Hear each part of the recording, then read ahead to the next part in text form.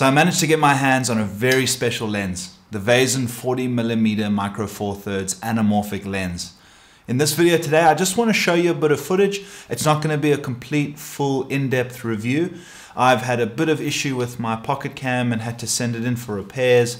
And um, I'm not going to be able to give you the full in-depth review just yet, but I do want to show you some of the footage I have got with this lens and give my sort of first impressions on it.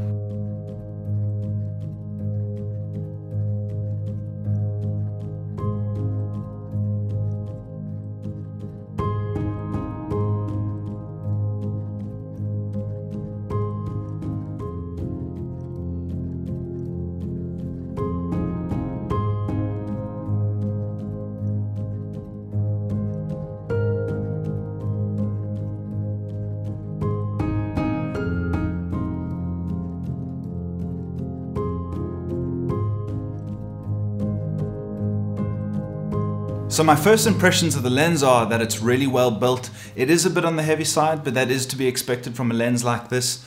It's very, very sharp, and that is something that I really, really like. As I said before, there will be a much more in-depth review coming soon, but for now, enjoy the footage.